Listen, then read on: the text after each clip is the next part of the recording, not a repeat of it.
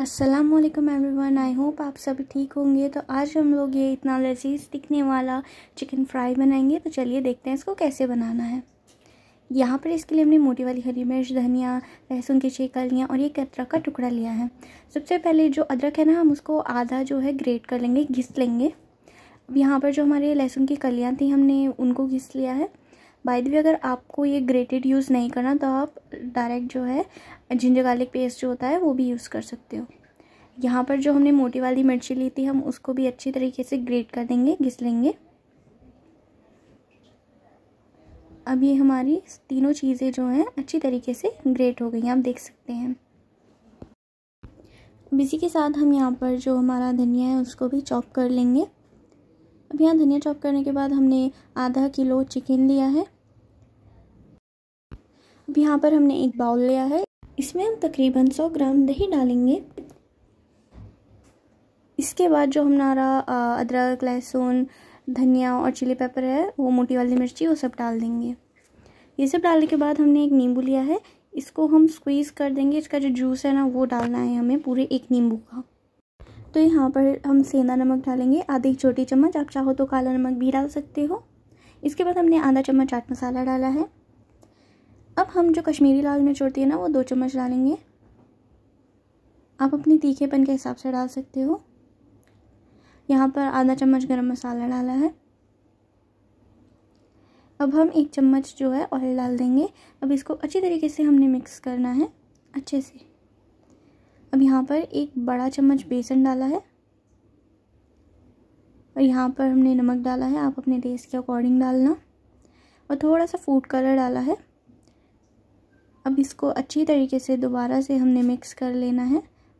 अब देख सकते हो कलर कितना अच्छा आ रहा है अब इस पर मैरिनेशन रेडी होने के बाद जो हमारा चिकन है, हमने वो लिया है और उसके ऊपर इस मैरिनेशन को डाल दिया है।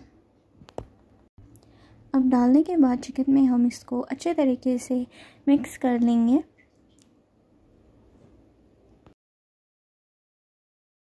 जैसा आपको वीडियो में दिखाया जा रहा है, आप भी बिल्कुल वैसे ही मिक्स करना और जितना अच्छे से हो सके वैसे मिक्स करना। अब आप देख सकते हैं ये अच्छी तरीके से मिक्स हो चुका है। अब हम इसको एक स्टील वाले बाउल में ट्रांसफ़र कर देंगे और इसको हमें तकरीबन एक से दो घंटे के लिए फ्रिज में छोड़ देना है। एक घंटे बाद हमने इसको फ्रिज से बाहर निकाले अब हम इसके बाद चटनी प्रिपेयर करेंगे। इसके लिए हमने तीन मोटी वाली हरी मिर्ची टमाटर लिए हैं हमारे घर के ऑर्गेनिक टमाटर हैं और हमने थोड़ा धनिया भी लिया है। अब जो मोटी वाली मिर्ची है, हम उनको काट कर जो मिक्सर वाला जार होता है, उसमें डाल देंगे। अब हम टमाटर भी इसमें काट के डाल देंगे।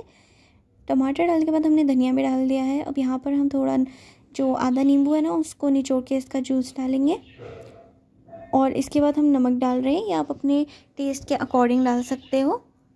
नमक के बाद यहाँ पर हम थोड़ा सा पानी डालेंगे, इसको ग्राइंड करना अब यहाँ पर हम दही ले रहे हैं। ये दही हमारे घर की बनी हुई है और यहाँ पर हमने दो चम्मच दही डाली है दही डालने के बाद फिर से इसको ग्राइंड करना है। अब यहाँ पर हमने कढ़ाई ली है।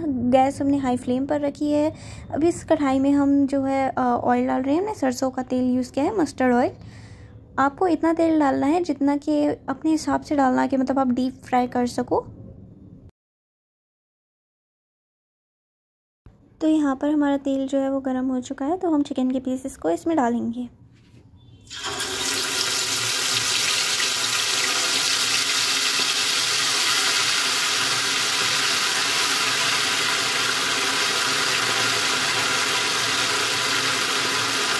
अब जैसे यहाँ पर मेरी अम्मी आपको दिख रहा है, वीडियो में कर रही हैं एक एक करके जो चिकन पीसेस हैं उनको फ्राई होने के लिए डाल रही हैं। आपने भी बिल्कुल इसी तरीके से करना है और अब इन्होंने यहाँ पे इसको जो कढ़ाई से हल्का सा चलाया है, मे भी शायद जले ना इसलिए।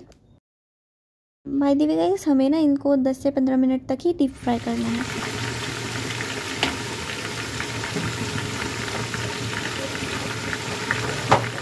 तो इतने हमारा चिकन प्रिपेयर हो रहा है। इतने हम यहाँ पर प्याज को रिंग शेप में काट रहे हैं।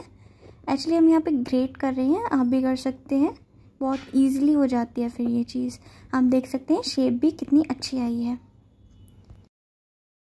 जैसा कि आप देख सकते हैं, अभी हमारा चिकन बस रेडी होने ही वाला है। तो हम इसको ना थोड़ा सा करछी से इसे हिला लेंगे और इसके बाद चिमटे से हम इसको पलट लेंगे जो चिकन के पीसेस हैं।